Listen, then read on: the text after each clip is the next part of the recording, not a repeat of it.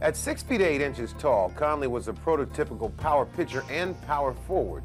I had the ability to play both sports on that level. I think I enjoyed playing both sports, and I think I was fortunate enough to play with teams that uh, I enjoyed playing for, the type of players and the type of uh, personnel. Conley pitched for 11 years in the major leagues and helped the Braves to a World Series victory in 1957. He also won three straight championships with the Celtics during his NBA career.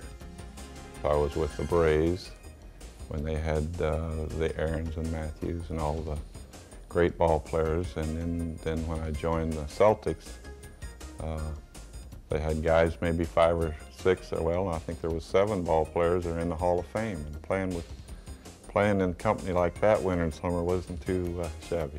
He didn't have the experience of some of the other guys on the Celtics because he left college early to pursue his baseball career. But he was a great and gifted athlete, and he had a great competitive attitude that he brought to the ball club. I knew Red Auerbach wouldn't keep me unless he thought I could help him. If I wasn't producing, believe me, I would, I would be back home playing uh, work up at the YMCA.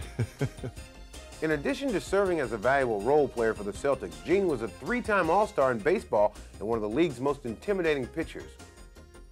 He had this delivery in which, uh, when his foot would come forward, there was a little puff of dirt would come off the toe, and it was unique. He didn't try to do it; it just happened in the delivery. But he was a hard-nosed competitor, and um, he didn't say much. He was quiet, but he was uh, he was a real tough, uh, real tough hombre. Uh, he was a very hard-nosed ball player. Um, not dirty, but definitely hard-nosed. And a lot of people around the league uh, had a lot of respect for him.